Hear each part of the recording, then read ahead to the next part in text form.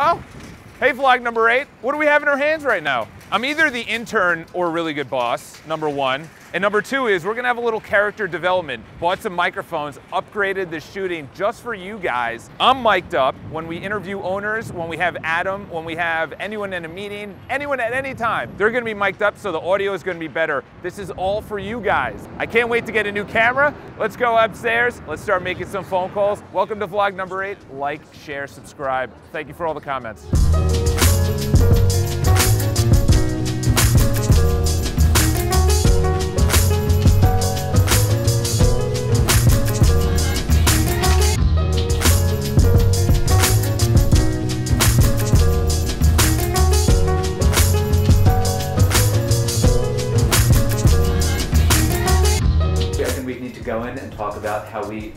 Have already proven that it works. Go in that it's working right now. Yeah, like Yeah. how Serhant's, how what's it, Brian Chan who to work Yeah, with? yeah. How- I think he went into a pitch and pitch townhouse, but he, you said he got the listing because of social media. Yeah. Like that's his Serhant's biggest thing, right? Yeah. His social media following. That's literally what I want to get to is like you have my brand and then you have our brand, which is Adam BPI. So you have literally two brands working with you. You have the personal because the, the problem that people are going into right now is that they're saying they have, say, Halstead or Corcoran. They're like, great, that's your company and that's who you're working for. If we have both, we say we have a brand. I like that idea. Instead of say we're building a brand, we have a brand right now. I have a brand, and then we also have a brand around the property tour. I think two things people like the BPI and then uh, you know the fun, entertaining, engaging things like what, what's entertaining. Uh, Charles talking to cars because they beep. But there's people that actually message me and say, love the hustle with the phone calls. Yes. And the second thing is, I like those little things that you say during the day, which is, you know, writing a personal note or following up or being persistent. Those are the personal messages I get. But the public ones are like, oh, that's funny that. So it's, I think those are the, the entertainment, but also the value of the rant, because you'll have two audiences. This is like anything, any, like in a month, we're gonna have a different conversation. It's just getting better. That's it. Like you brought up the brand. Think of that. You brought up the brand. I didn't even think of that. Then and then Adam brought up like, okay, instead of saying building the brand, we'll say it is a brand. So it's like those ideas. Nothing is bad. So that was that was like always in the underlying of my mind is like how do we get influencers involved so they can share it with their audience, gives attention to ours. All right, going to the Upper West Side right now, dropping off a letter. I won't show the address for the person that I actually met with yesterday. Always a good idea. The handwritten card after you. Thank you. You're welcome. And then obviously never too busy for any of your referrals. And then Assam was uh CRM Life. yeah, CRM. Yep. He was the one that got us the 360 camera. So thank you. Look at her. That's her thing. I know. Who are we listening to right now? The best. Oh, nice. I like it. Nice and healthy. Yeah. For Halloween. Yeah. Disgusting drink you'll ever drink. That means it's healthy. Really? I gotta try it. Save. branding for them. Good Yeah. yeah, exactly. Save some for me. Morning was really good because what we talked about was how we're going to brand this when we're actually talking to buyers, we're talking to sellers because right now we're doing the vlog, we're doing the property tours, but what's the advantage to them? So now we're doing the bullet points. I was talking to Jojo behind the camera, I was talking to Adam, and we really synthesized how we're going to express this to owners in the future when we do a presentation and it's 3.5 million and the person doesn't really believe in social media or video or things like that. What are we going to tell them? How are we going to convince them? So today was really, really good. We made the calls and then we talked about it. We're going to the Upper West Side. We're meeting with a guy. He's selling his place, but he lives in Miami. And the thing is, you can't really sell it when you're in Miami. He's, he's a for sale by owner. That's like my jam. The importance of actually getting off at the right station. We have to go all the way down there. It's going to be really close. A shout out to my clients, Jamie and Ben. It's their wedding anniversary. I get a, a trigger from our CRM. I know Asham from the uh, mailroom is really going to like that. Our CRM, customer relationship manager, uh, sends us an email anytime it's a closing anniversary, wedding anniversary, child's birthday, their regular birthday, whatever. So shout out, happy wedding anniversary to Jamie and Ben. So we're going to be going live next week on Facebook and YouTube and doing some uh, live shows. And the first thing we're going to be talking about, I actually heard it yesterday, it was actually really good, is that athletes are becoming businessmen and businessmen are becoming athletes. In other words, you can't just be a businessman now. You have to eat well, you have to sleep well, you have to do it right because otherwise you don't have sustained energy, you get tired too quickly, and someone else is going to pass you. And it's the same thing as athletes, is that If you're a LeBron or you're someone that's actually an elite athlete and you don't have something on the side, like Tom Brady just has a, best-selling book that came out. LeBron has so many businesses. Michael Jordan is a billionaire. If you're not a businessman as an athlete and leveraging your brand, you're nothing. And if you're a businessman but you're out of shape or whatever the case is, you're not gonna last. Someone else is gonna pass you. As I'm saying that winded.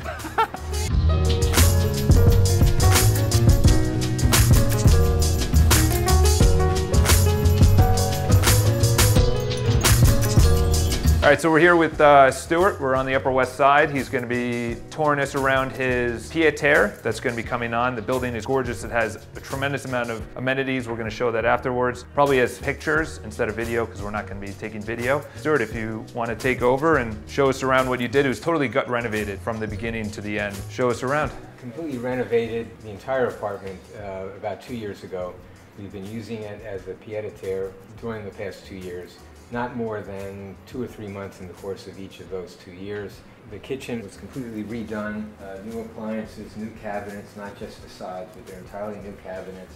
Put in the stone countertops, and we use the same countertops for all the windowsills throughout uh, each of the wow. uh, each of the rooms. What kind of flooring is this? This it's, is uh, like engineered. Uh, it is. Wood, yeah, yeah. yeah it, it, looks like if you get a stain on it, it, probably not many scratches. It's definitely a harder wood to actually do anything to, which is good. So it lasts longer. This is a nice feature. Uh, Going through, yeah. That's expensive, probably doing that, you know, the cabinetry. What did you like most about the area? Outside the doors, everything. I know. The Upper West Side has really just turned around. The, uh, the subway station is right here in the building. It's on the corner of oh, the yeah. street. You just walk, you walk outside and right If it wasn't, we would have been late. Yeah. Uh, so we completely renovated the, the bathroom. What is interesting about the 11th floor is that it's instant on hot water, and the water pressure is unbelievable. Very important, by the way. It, it really it is. is. It makes yeah. a big difference. And I've lived in places where it's just trickling out, no, and it's it's like full force. Yeah. It's instant on high.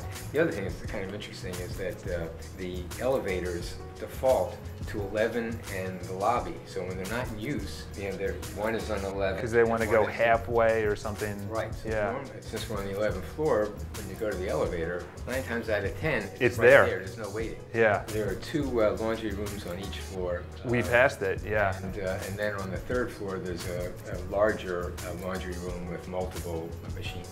So let me ask you a question. Did you know that in the water pressure when you bought in? No, I didn't know anything about that. So those are like added Yeah, bonuses that you got, yeah. I think those are big selling points, especially the, the water pressure. We built out custom closets, and then in the bedroom, there's a walk-in closet. Wow. And it's funny too, we were at an apartment uh, yesterday and, and, they said walk-in closet. It wasn't really a walk-in closet. No, this a is a real walk-in closet. Was this already built out or did you push Yeah, this we, we from the... no, it was here. And so here's the uh, bedroom. That's the one bedroom. Uh, obviously this building, it's all about the amenities, it's all about the area, the convenience to the subway. You can't say enough about the 70s and the 80s, especially when it's central on the Upper West Side. It's an amazing area. It's great for convenience, but it's also great for nightlife and going out. We're gonna hop off from here. We'll check out the amenities. If you're interested, obviously hit us up, charles at botensten.com.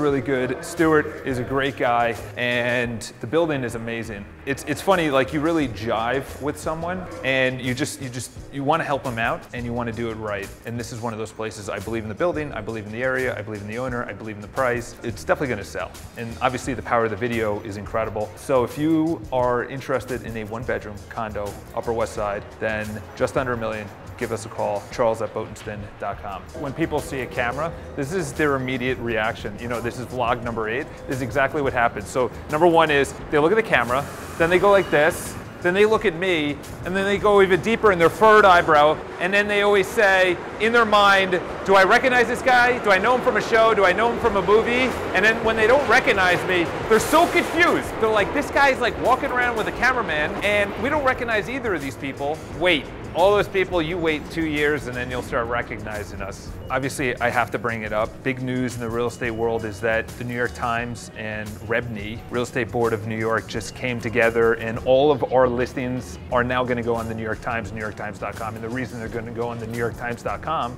is because you have Street Easy, and Street Easy was bought out by Trulia and Zillow probably about two or three years ago for $50 million, which was a complete steal. It was like when Instagram got bought by Facebook for a billion, everyone's like, that's crazy crazy. But now look at Instagram. Do you think it would go for a billion dollars? It would go for more. So the reason that the Real Estate Board of New York is now putting their listings on New York Times is because this is what's going to happen. Is that the Real Estate Board of New York hasn't been improving at all. The New York Times hasn't been improving at all. Street Easy has. Everyone's using Street Easy. So it's like that's their their only outlet right now is to be relevant. You know, everyone, even brokers, are going to be using Street Easy because they're they're going to come out with a CRM. They're going to come out with a listing system. They're already charging for rentals, and that's what I've been saying is that if you're not building your audience either through video, through social media, through a newsletter, then you're screwed. Let's go downtown. Going to do some pop-bys.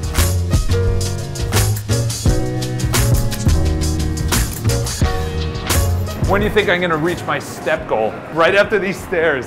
If this thing vibrates, highly recommend anyone to get any of these watches for two reasons. One is you can actually, if you actually track it, it's good, but they actually have something that says if you have one of these on, you're more conscious to take the stairs over an elevator and to eat healthier. So highly recommend getting at least a fitness watch. Fitbit, Apple. This is very expensive because this is Garmin and I use it for biking. All right, so two things. Uh, number one is always give us your feedback, what you like, what you don't like. We were talking about it this morning. We're probably going to be doing a lot of entertainment along with my brand, which is obviously BPI and speaking and whatever.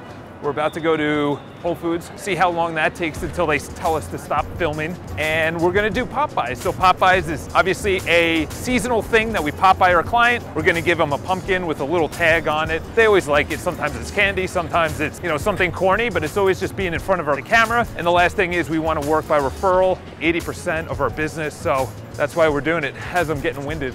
So if you want your pop-by, you got to become a client of BPI. It's always fun to actually work with a client over the years. You know, being in it over eight years, I've seen people get married. The clients, they have babies or multiple babies or they move outside the city. That's always fun. And being part of their transition from the city to the urban or to the suburb life or family life or whatnot, it's rewarding for me. That's why I love what I do.